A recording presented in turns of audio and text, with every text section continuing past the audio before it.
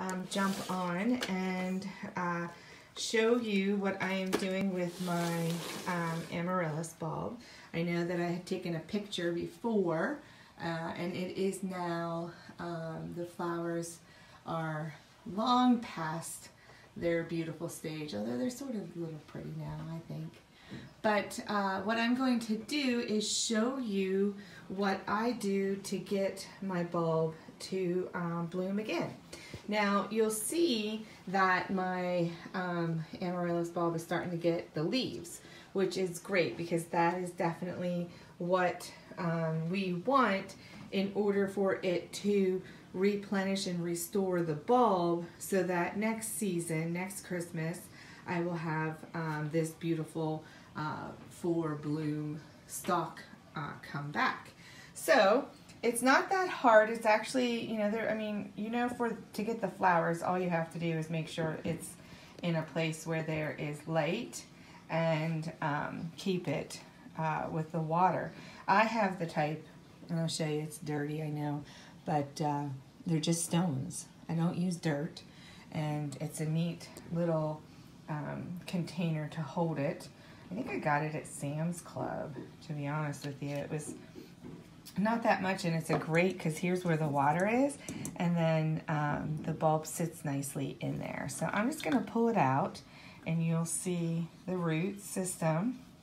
And I'm going to put it just on here, and then I'm going to put it back in. So what you want in order for it to restore is to get these leaves. This is the good growth right there. That is what's going to restore it. And it does need sunlight, so you're gonna need to put it in a sunny place. I don't have um, a really great window for sun, but once it is um, warm enough and there's no danger of frost, I will take it outside and let it get lots of sun over the summer, uh, which is, you know, great. When you first take it outside, these leaves right here, usually they'll, you know, they'll get that sun bleach and then it might wither and die back, but it's okay. They'll come back and then it'll be fine. It just has to transition to being outside from being inside your house. So what I'm gonna do today is I need to remove the stalk.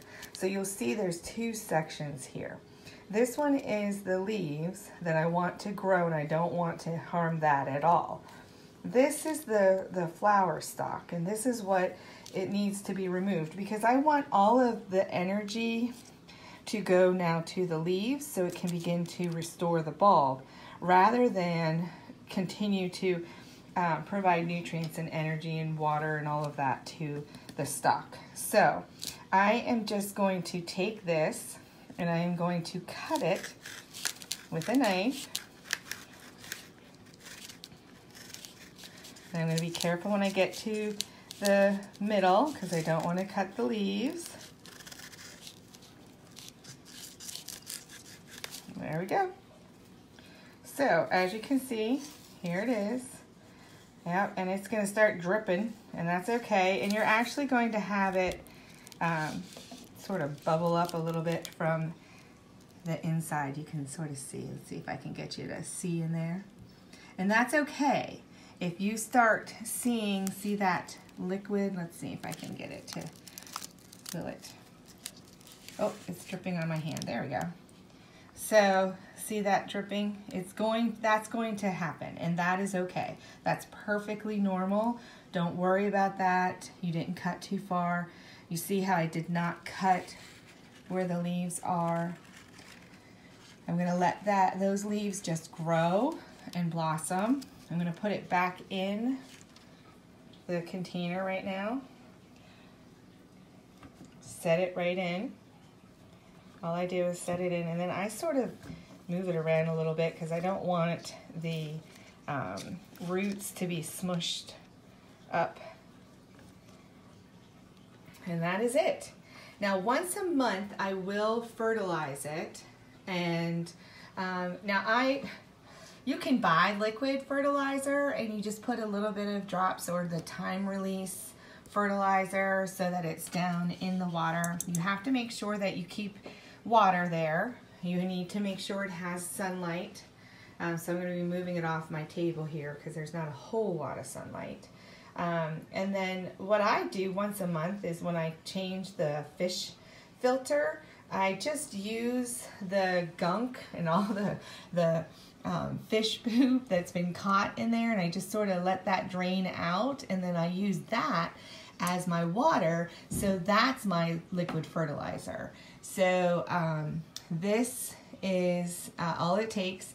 Now when August comes usually mid-August is about when you want to do um, your dormant period so that you can um, get it to bloom again in Christmas. And uh, I will show you in August when I start to take that. If you, you need to have a cooler basement um, or a cooler place that you can put it.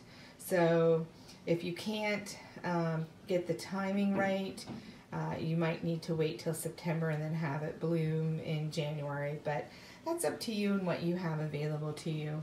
So I'm just going to let these leaves grow and they're going to get tall and, and a little floppy and that's all right. It's not real pretty now. The, the bloom is what's real pretty.